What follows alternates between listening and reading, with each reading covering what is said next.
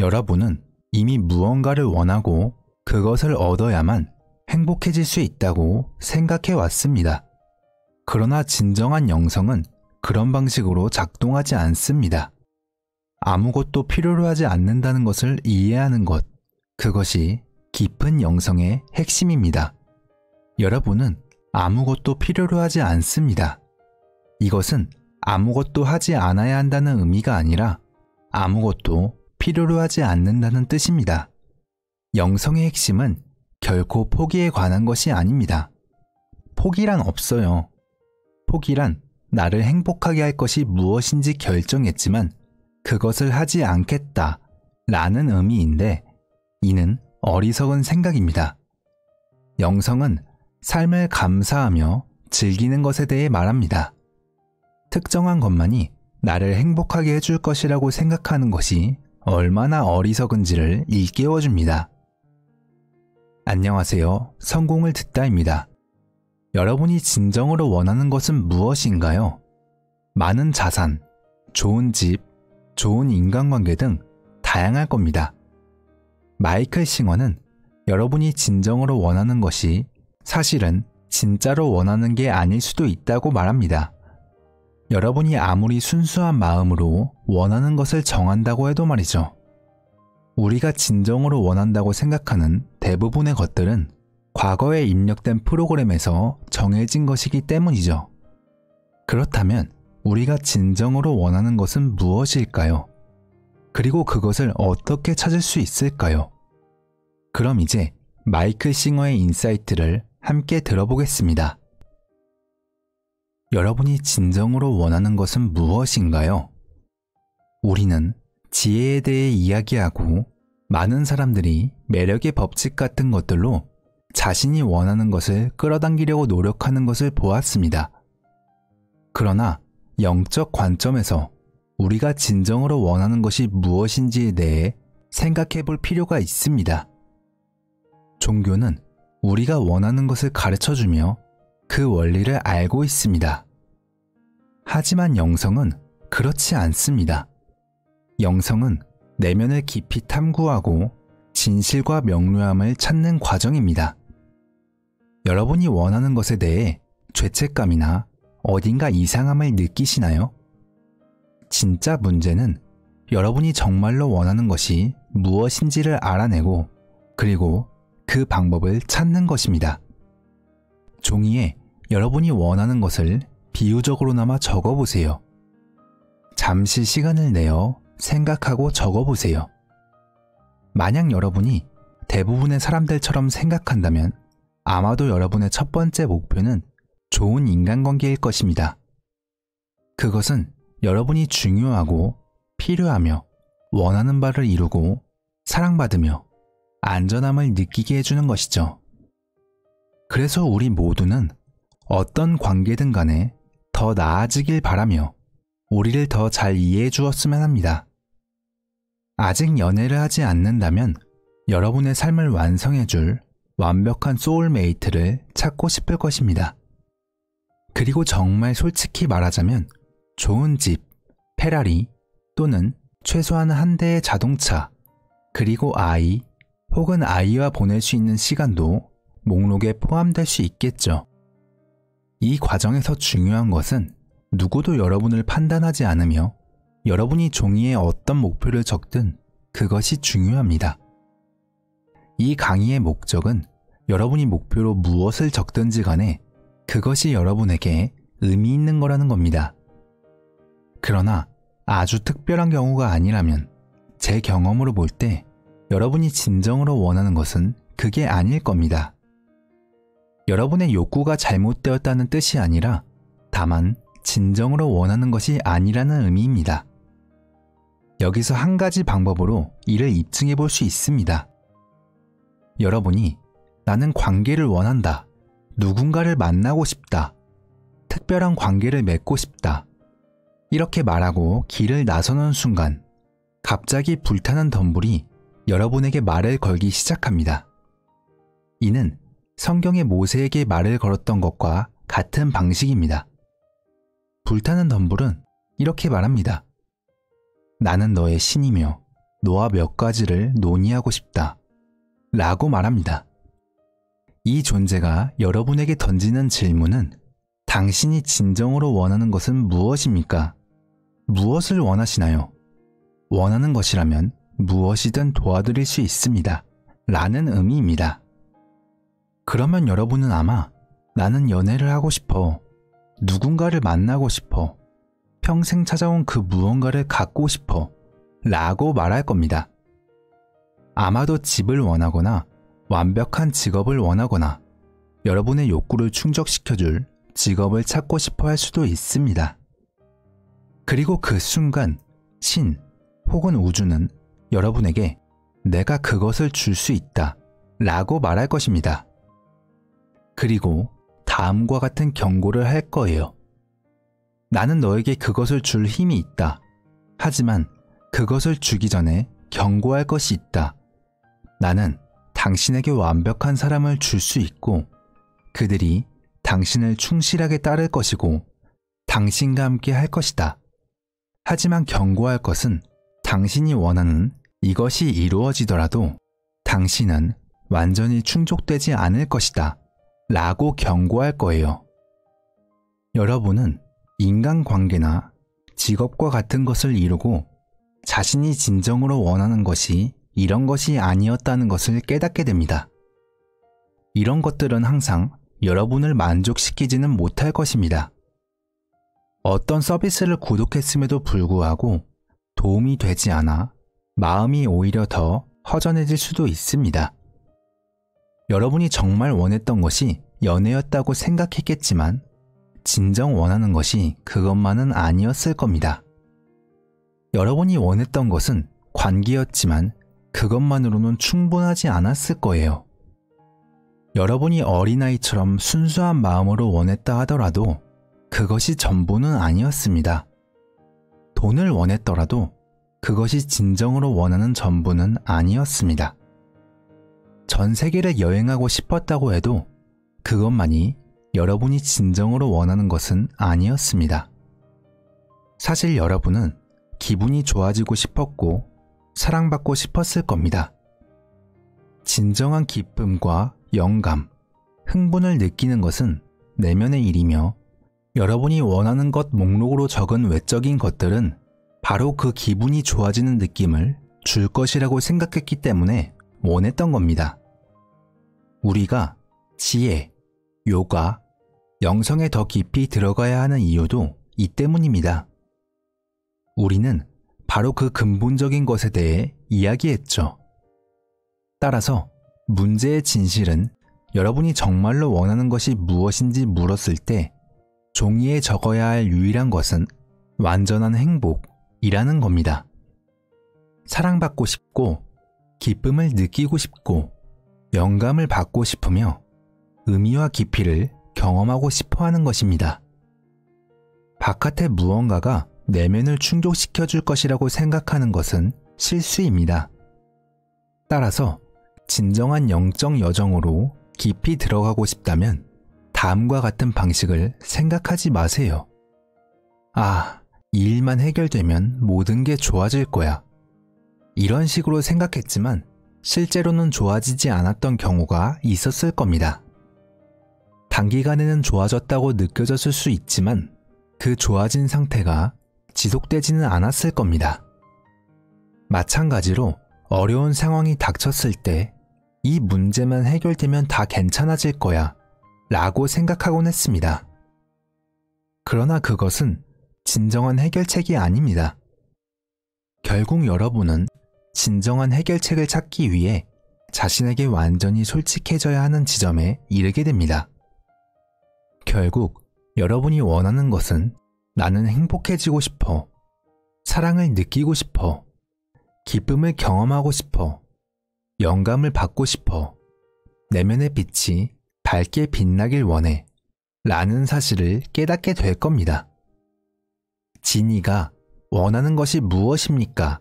라고 물었을 때 완전한 행복을 원해. 라고 대답했을 겁니다. 정말 멋진 일이죠. 아침에 눈을 뜰 때부터 에너지가 넘치고 영감이 솟구치며 하루 종일 설렘이 가득한데 어떻게 행복하지 않겠어요? 남은 시간 동안 무슨 일이 벌어질지 기대되고 그 모든 것을 환영합니다. 그런데 여러분이 매 순간 느끼는 건 슬픔이에요. 사랑도, 기쁨도, 행복도, 의미도 찾을 수 없지만 그것들은 여전히 거기에 있고 여러분에게 모든 애정을 쏟을 준비가 되어 있습니다. 여러분은 원하는 소망이 완벽한 파트너를 만나거나 꿈꾸던 일이 될 것이라고 생각했지만 그것들은 여러분에게 허무함을 줍니다. 여러분의 소망이 이루어지면 그것이 여러분을 설레게 할 것이라고 생각했지만 그렇지 않아요. 여러분은 그저 일하는 게 싫고 그 어떤 것에도 흥분되지 않는 것입니다. 밤이 되면 자신이 모든 것을 쏟아내고 잠에 듭니다. 아침에 일어나서 다시 시작할 시간이야. 준비됐어. 라고 생각하는 것. 이것이 바로 아름다운 삶이며 여러분이 찾고 있는 바로 그것입니다. 여러분은 이 모든 것이 필요하다고 느낄 것입니다. 진정으로 원하는 것을 찾아 다음 단계로 나아가려 할 때 많은 이들은 영적으로 깊이를 더해 진정 내가 추구할 것은 내면의 평화다. 바로 이것이 나의 진짜 소망이며 외적인 것들은 내가 진정으로 원하는 바가 아니다. 라고 깨닫게 됩니다. 대다수 사람들은 외부 상황에 의해 기분이 좌우되는 것을 경험하지만 현명한 이들은 그보다 더 깊은 진리를 발견합니다. 결국 가장 중요한 것은 내가 원하는 것과 원하지 않는 것에 대한 분명한 인식입니다. 대다수의 사람들, 거의 99%에 달하는 사람들이 자신이 원한다고 생각하는 것을 얻기 위해 평생 헌신하며 살아갑니다. 자신이 원하는 것을 추구하고 원치 않는 것을 피하는 데 집중하는 대신 단지 머리로 생각하는 것이 아니라 괜찮아지고 싶다 라는 내면의 욕구를 깨달을 때 모든 것이 훨씬 단순해집니다. 나는 사랑을 느끼고 싶고 기쁨을 경험하고 싶습니다. 행복과 영감을 얻고 싶어요. 이렇게 생각하면 다음 질문은 그럼 사랑과 기쁨을 느끼면 되지 왜 그렇게 하지 않는가? 라고 묻게 됩니다. 그 이유는 외부에서 들어오는 특정한 방식의 자극을 통해야만 이러한 감정을 느낄 수 있다고 믿기 때문입니다. 따라서 여러분이 영적으로 더 깊이 들어가기 시작하면 왜 이런 현상이 일어나는지 궁금해집니다. 왜 내가 원하는 것을 얻었을 때 흥분하고 얻지 못했을 때 실망하며 원치 않는 상황이 생기면 분노하고 이 상황에서 벗어나면 안도하는 걸까요? 우리는 이런 것들을 당연한 것으로 받아들입니다. 일상에서 많은 것들을 당연시하지만 정말로 영적인 사람은 어떤 것도 당연하게 여기지 않습니다. 그들은 모든 것에 대해 의문을 갖습니다. 왜 우리가 정말로 흥분하는 순간은 외부 세계가 우리가 원하는 내면의 상태와 완전히 일치할 때만 발생할까요? 이 문제에 대해 우리는 매우 깊이 파고들어 많은 대화를 나눌 수 있습니다. 제가 좋아하는 이야기 중 하나는 1942년에 만들어진 특별한 1센트 동전에 대한 이야기예요. 그는 우연히 1942년에 만들어진 특별한 동전에 대한 존재를 알게 됐어요. 그래서 그는 그 특별한 동전을 찾고 싶다 라는 생각이 갑자기 들었죠. 어느 날 가게에서 거스름돈을 받는데 평소에 보지 못했던 동전 하나가 눈에 띄었어요. 그리고 그 동전을 발견했을 때 정말 기뻤어요. 하지만 그 동전이 자신이 원하던 동전이 아니란 걸 알게 되자 실망감을 느꼈어요. 특별한 동전에 대해 알기 전까지는 아무도 그 동전이 그렇게 가치가 있을 거라고 생각하지 않았죠. 우리가 바로 이런 상황에 있습니다. 우리가 뭔가 좋다고 생각되는 것을 알기 시작하면 그것이 나를 행복하게 해줄 것이라는 기대를 가지고 있습니다. 그 특별한 1센트가 바로 그런 행복을 가져다 줄 것이라고 믿기 때문에 그것을 찾게 되고 소유하고 싶어 하죠. 우리는 종종 이렇게 생각해요. 좋은 사람을 만나면 모든 게 좋아질 거야. 좋은 일자리를 찾으면 문제가 해결될 거야. 결국 모든 것이 잘 풀릴 거야. 이렇게 세상이 원하는 대로 펼쳐진다면 그것을 받아들이겠다는 조건을 스스로에게 설정합니다. 우리는 스스로에게 나는 준비가 됐어. 마음을 열 준비가 됐어. 라고 말하죠. 우리 모두는 깊은 내면에서 마음이 수용할 준비가 되어 있다는 것을 알고 있습니다. 진정한 기쁨은 외부의 무엇에서 비롯되는 것이 아니라 마음의 문을 열었을 때 비로소 찾아옵니다. 어쩌면 오늘 우리에게 기쁨을 주는 것이 어제도 우리를 만족시켰을지도 모릅니다. 그러나 가끔은 작은 말 한마디나 단 하나의 특별한 순간이 우리의 생각 전체를 변화시킬 수 있습니다. 그러므로 진짜 기쁨이나 사랑이 바깥 세상 어딘가에 있다고 생각하는 건 옳지 않아요.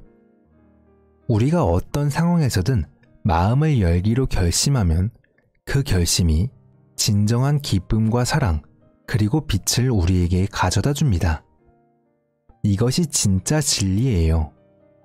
마찬가지로 뱀을 절대 보고 싶지 않아 라고 결심하거나 뱀과 같은 다른 어떤 것도 보고 싶지 않다고 마음먹으면 자신의 삶에서 큰 문제에 부딪힐 수 있습니다. 왜냐하면 밧줄을 보고 그것을 뱀으로 오인하고 문을 닫아버릴 수도 있기 때문입니다. 하지만 이러한 잘못된 마음가짐이 없다면 문제가 되지 않습니다. 만약 뱀을 보았다면 그것을 밧줄로 인식하고 아, 그저 밧줄이군 하고 생각하겠죠. 잠깐 동안 뱀으로 착각했다 해도 큰 문제는 아닙니다. 그러나 마음속으로 나는 뱀을 싫어한다. 뱀을 절대 보고 싶지 않아. 라고 결정해 놓았다면 만약 뱀이 나타난다면 여러분에게 어떤 영향을 미칠지 알 수 있습니다. 우리가 이를 마인드셋이라고 부르는 이유는 바로 마음의 상태가 우리가 어떤 것에 흥분하거나 흥분하지 않게 만드는 마음의 조건화 때문입니다. 이 과정에서 여러분이 원하는 것과 원하지 않는 것의 목록이 생겨납니다.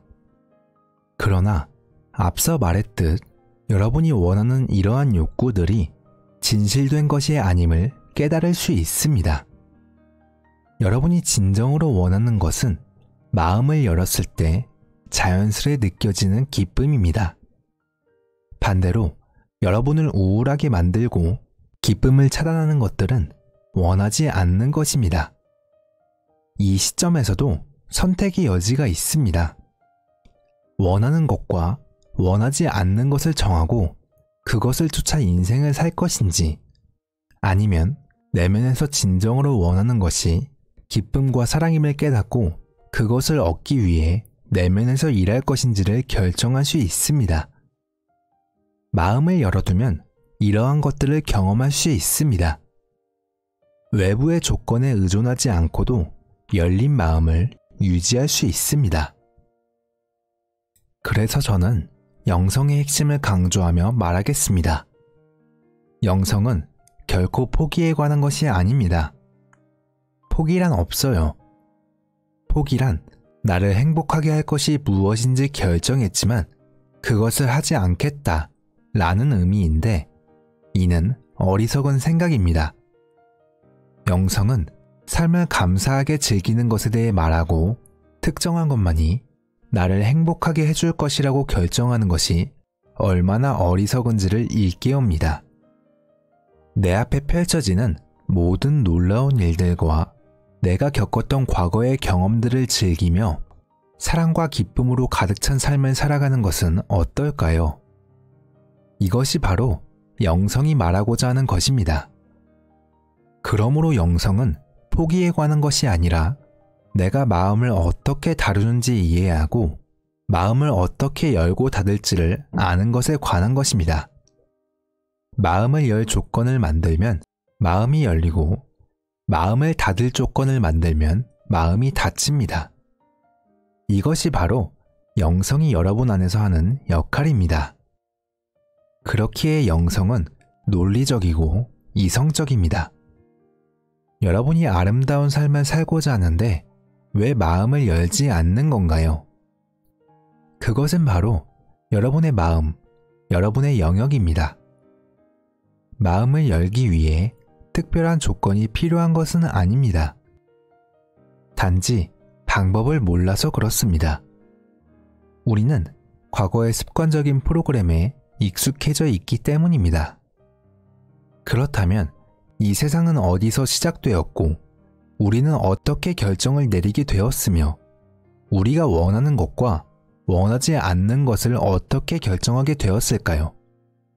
이러한 결정은 실제로 우리가 내린 것이 아니라 과거의 경험을 통해 우리에게 프로그래밍 된 것입니다.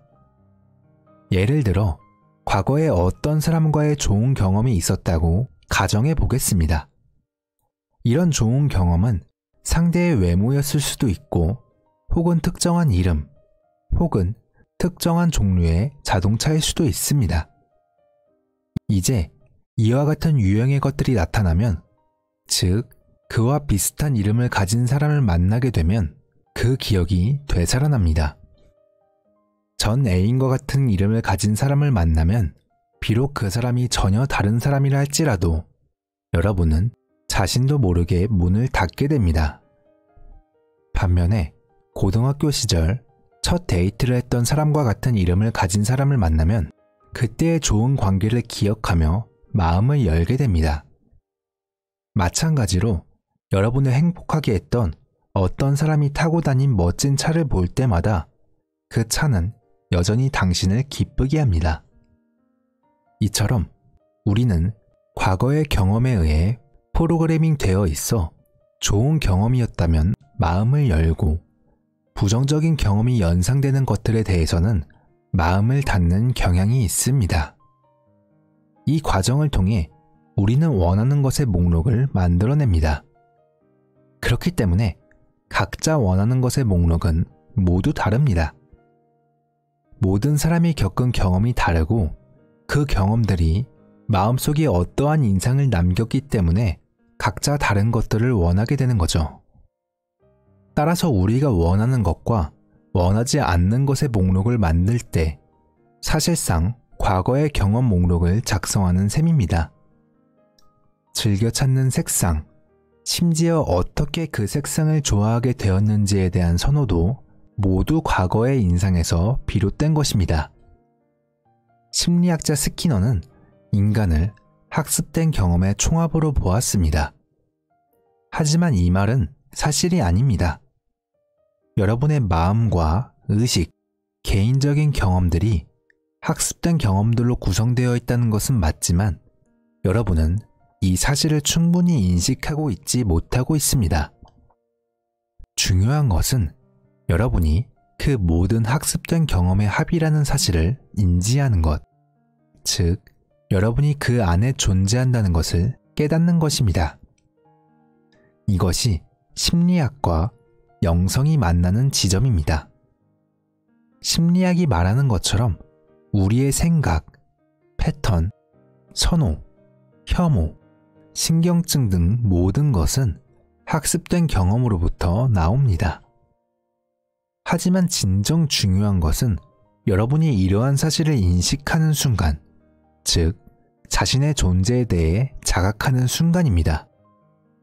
결국 여러분은 중요한 결정을 내려야 하는 지점에 도달하게 됩니다.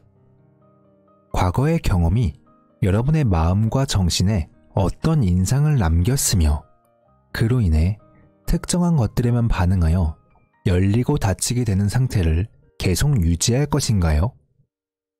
이 프로그램이 내 인생을 쫓아다니며 조작하고 통제하고 속여서 내 주변 세계가 프로그램대로 펼쳐지도록 평생을 보낼 것인가요?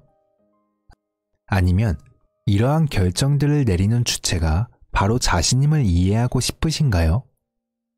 조건을 설정하는 것은 바로 여러분의 마음이며 그것을 그대로 두지 않고 변화시키는 것은 여러분의 선택입니다. 그 순간 여러분은 이미 가장 깊은 영적인 경지에 이르게 됩니다. 요가에서는 과거의 경험들이 우리 마음에 남긴 인상, 즉, 삼스카라라고 불리는 것들이 있습니다. 이것들은 우리 내면에서 이런 일이 있어야만 행복할 수 있다 또는 이런 일이 생기면 행복할 수 없다 와 같은 생각을 자꾸만 속삭입니다. 우리는 이런 생각들과 계속해서 맞서 싸웁니다. 하지만 이 과거의 인상들을 깨끗하게 정화할 수 있다면 우리는 마음의 짐을 벗어던지고 자유로워집니다. 나에게는 그런 조건이 필요 없어. 인생은 멋져. 라고 스스로에게 말하며 세상이 이러한 조건을 쫓는 것과 반대되는 길을 걸을 수 있습니다. 지금 이 순간에도 우리는 이 세상에서 모든 사건이 펼쳐지는 것을 보고 있습니다. 걱정할 필요는 없습니다. 시간은 충분히 있으니까요. 여러분은 여기에 머물며 인생, 사람, 장소, 사물, 심지어 날씨까지 자신이 원하는 대로 조작하고 싸우고자 하시나요? 아니면 항상 열린 마음을 유지할 수 있도록 내면의 혼란을 정리하기 위해 스스로 노력하고자 하시나요? 이것은 바로 영성의 본질입니다. 영성은 포기에 관한 것이 아닙니다. 그리고 어떤 일이 발생했을 때 조심해 와 같은 말은 외부 세계에 대한 지침이 아닙니다. 이는 오히려 내면에 대한 교훈입니다. 여기서 중요한 것은 개방성입니다. 개방성이란 새로운 생각이나 경험, 사람들에 대해 마음을 열고 수용하는 태도를 말합니다. 친밀함이란 반드시 마음을 완전히 열어두는 것만을 의미하지 않습니다. 이것은 마치 집에 있는 창문의 블라인드를 여는 것과 같습니다. 블라인드를 닫으면 집안이 어두워집니다. 이것은 마치 묶이지 않은 영혼의 상태와 같습니다. 블라인드를 닫고 나면 집안이 어두워지고 조명을 가지고 이리저리 움직이며 어떻게 해야 빛을 얻을 수 있을지 고민하게 됩니다. 반면에 블라인드를 열면 아무런 노력 없이도 자연스러운 빛이 들어옵니다. 그러나 안타깝게도 여러분은 밖에 아무도 없고 여러분이 원하는 사람만이 집안에 있으며 모든 것이 여러분이 원하는 대로 되어 있다는 확신이 들 때까지 블라인드를 열지 않을 겁니다. 블라인드를 여는 것이 두렵고 마음이 불편할 수 있습니다. 그래서 많은 사람들이 인공 조명을 사용해 내부를 밝히는데 평생 소비하거나 스스로 노력하기로 결심하며 블라인드를 열기로 합니다. 진정한 영성인 요가는 블라인드를 완전히 제거하는 것입니다. 블라인드를 창문에서 떼어내 밖으로 버리고 다시는 닫지 않는 것입니다. 우리가 블라인드를 닫는 행위는 왜 하는지, 그것이 어떻게 여러분을 어둠 속으로 이끄는지를 이해해야 합니다. 우울증은 무엇일까요? 그것은 완전한 어둠, 완전한 폐쇄성을 의미합니다. 여러분은 에너지의 흐름을 차단했습니다.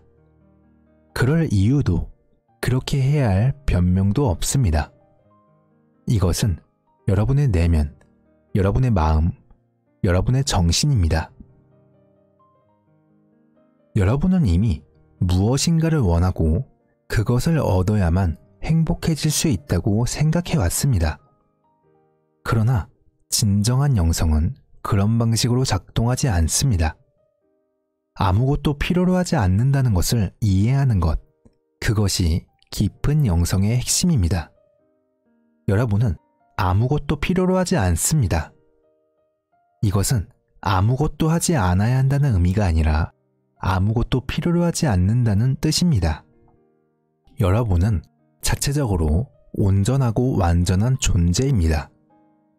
마음을 열었을 때 내면에서 자연스럽게 기쁨, 사랑, 영감이 솟아나게 됩니다. 마음이 열리는 순간 마음에 드는 일이 발생하는 순간 여러분은 순수한 기쁨을 경험하게 될 것입니다. 왜 여러분은 좋은 직업을 통해서 자신의 마음을 열고자 하는 건가요? 이 일을 직업에게 부탁하지 마세요. 마음을 열어야 하는 건 여러분의 몫이에요. 그 방법을 배우게 되면 여러분의 마음과 영혼은 항상 기쁨을 느낄 거예요. 아침에 눈을 뜨는 순간부터 영감이 솟아나고 심지어 30년 동안 같은 직장에 다녀도 매일 출근하는 것이 즐거워질 것입니다. 지루함이란 없습니다. 왜냐하면 내면의 에너지가 흐르기 때문이죠. 인간관계를 좋게 할 수 있습니다. 눈앞에 있는 순간에 최선을 다할 수 있습니다. 이제 여러분은 받기만 하는 존재가 아니라 주는 존재가 되었기 때문입니다. 우리가 순간에 집중하고 상황에 적극적으로 참여하면 우리는 그 안에서 가능성을 탐색하기 시작합니다. 우리는 상황이 긍정적으로 전개되길 원하며 그러기 위한 다양한 해결책을 모색합니다. 현재의 순간을 우리가 원하는 방향으로 유도하기 위해 노력하며 필요한 변화를 만들어내려고 시도합니다. 그러나 항상 열린 마음을 가진 사람은 그런 방식으로 행동하지 않습니다. 그들은 이미 원하는 것을 느끼고 있기 때문에 그런 행동을 할 필요가 없습니다. 그들은 이미 기쁨, 사랑, 영감을 느끼고 있습니다. 그 순간이 펼쳐지면 그들은 그 순간에 자신을 완전히 바칠 수 있습니다. 그들은 가진 기쁨과 사랑으로 그 순간, 사람, 장소, 사물을 밝힐 수 있습니다. 이것이 바로 영성의 본질입니다. 많은 위대한 사람들이 부와 원하는 것들을 어떻게 끌어당기는지 만트라와 영성을 어떻게 사용하는지 가르칩니다. 그러나 진정한 영성은 단지 원하는 것들을 끌어당기는 것이 아닙니다. 진짜 영성은 내면에서 기쁨을 찾고 그 기쁨을 다른 이들과 나누는 것입니다. 사람들이 매력의 법칙에 대해 물어보면 그것이 실제로 작동한다고 말할 수 있습니다. 하지만 주의해야 해요. 우리 마음은 우리가 생각하는 것들을 끌어당깁니다. 그래서 긍정적인 것뿐만 아니라 우리가 하루 종일 불평하거나 화내거나 싫어하는 것들도 끌어당길 수 있습니다. 하지만 그렇게 해서는 정말 원하는 것을 얻을 수 없다는 것을 알게 될 거예요. 진정으로 중요한 것은 마음을 열고 그 열린 마음에 아무런 조건을 붙이지 않는 것입니다. 여러분이 마음을 닫는 것은 바로 여러분 자신의 생각과 감정 때문이에요. 그래서 이런 변화는 여러분 스스로 내면에서 해나가는 일이에요. 여러분 삶에서는 아름다운 노을이나 새의 노래와 같이 자연스럽게 마음을 열게 하는 순간들이 펼쳐질 것입니다. 하지만 그렇게 열린 마음은 왜 그렇게 짧은 시간 동안만 지속될까요? 아름다운 석양을 바라보며 세상에 신의 얼굴을 본 것 같아 라고 느꼈다가도 곧바로 모든 문제들을 생각하며 다시 마음이 닫히곤 합니다. 왜 그럴까요? 마음을 한번 열었다면 이제는 마음을 닫지 않는 법을 배워보는 것은 어떨까요? 마음이 닫지 않게 하는 것, 바로 그것이 여러분이 진정으로 원하는 것을 얻는 방법입니다. 깊은 영적 가르침은 실제로 여러분이 원하는 것을 얻는 방법을 가르치고 있지만 그 궁극적인 것은 항상 사랑, 기쁨, 행복을 느끼는 것입니다. 그래서 만약 내면에 이러한 감정을 찾을 수 있다면 그것을 다른 이들과 나눌 수 있습니다. 이것은 고통스러운 가정이 아닙니다. 그리스도께서 특별히 좋아하셨던 가르침 중 하나는 사람은 떡으로만 사는 것이 아니라 하나님의 입에서 나오는 모든 말씀으로 산다 라는 것이었습니다. 이 말씀의 진정한 의미를 이해할 수 있는 것은 영적인 존재, 수행자뿐입니다. 외부에서 오는 것만으로는 충분하지 않다는 것을 의미합니다. 빵은 단지 먹는 것 이상을 상징합니다. 우리를 먹여 살리는 것은 우리 주변의 모든 환경입니다. 내면의 에너지와 입에서 나오는 모든 말에 조화를 이룸으로써 이를 달성할 수 있습니다. 그 에너지, 그 영적 에너지는 영적인 근원에서 비롯됩니다. 그래서 여러분이 스스로를 돌보며 마음을 열어두는 상태를 유지할 때 항상 그 에너지에 접근할 수 있다는 것을 깨닫게 됩니다. 이는 어떤 상황이 닥치든 어떤 일이 발생하든 항상 그 에너지에 접근할 수 있다는 것을 의미합니다. 원하는 것을 얻지 못한다 하더라도 누군가가 여러분이 원하는 직업을 뺏어도 원하는 연봉을 받지 못해도 이런 일들은 결코 끔찍한 일이 아닙니다. 이것들은 여러분의 마음을 닫게 만드는 일입니다. 이런 문제들을 가까이 하게 되면 삶의 의미, 기쁨, 아름다움, 사랑을 잃게 됩니다. 사랑하는 사람과의 관계에서도 마찬가지예요. 서로를 사랑하는 것은 정말 아름다운 일이죠. 상대방이 무언가를 하거나 심지어 수프를 마시는 모습까지도 사랑스러울 수 있어요. 하지만 작은 일들, 예를 들어 치약 뚜껑을 열어두거나 이불을 정리하지 않는 것 같은 것들이 큰 문제가 되어 결국 관계가 끝나는 경우도 있어요. 왜 그런 작은 것들 때문에 귀중한 사랑을 포기하려고 하나요? 상대방의 작은 습관들을 받아들이기 어렵다고 해서 그것 때문에 관계를 망치고 사랑을 포기하는 건 아니에요. 영성의 진정한 핵심은 바로 모든 것을 받아들이고 항복하는 것입니다. 어떤 일이 발생하면 마음이 다치고 불평이 시작되므로 마음이 다치지 않는 법을 배우는 것이 중요합니다. 저는 항상 사람들에게 쉬운 것부터 시작할 것을 권합니다. 원하는 것을 얻는 것에 너무 집중하지 마세요. 그것은 제한적일 수 있습니다. 어떤 일이 일어나도 마음을 열어두는 법을 배우세요. 비가 오거나 너무 더워도 마음을 닫지 마세요. 왜 날씨 때문에 마음을 닫나요? 날씨는 바랄 수 있는 것이 아닙니다. 날씨는 좋은 것이고 비는 필요한 것이며 식물에게 중요합니다. 여러분도 식물이 필요합니다. 눈앞에 펼쳐지는 경험을 받아들이고 존중하고 감사하는 법을 배우세요. 여러분이 원했던 것이든 원하지 않았던 것이든 과거의 경험과 일치하지 않을 수 있습니다. 그래도 괜찮습니다. 이런 마음가짐은 외부 세계가 나를 닫게 하는 것을 허용하지 않겠다는 의미입니다. 내 안은 내가 아름답게 꾸밀 수 있는 공간이며 그 권리를 누군가가 빼앗을 수는 없습니다.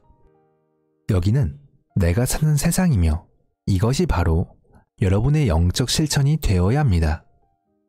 문제는 여러분 앞에 펼쳐지는 어떤 경험이든 여러분을 계속 열린 상태로 유지하게 할 수 있는지 여러분 내부의 혼란을 해소할 수 있는지입니다.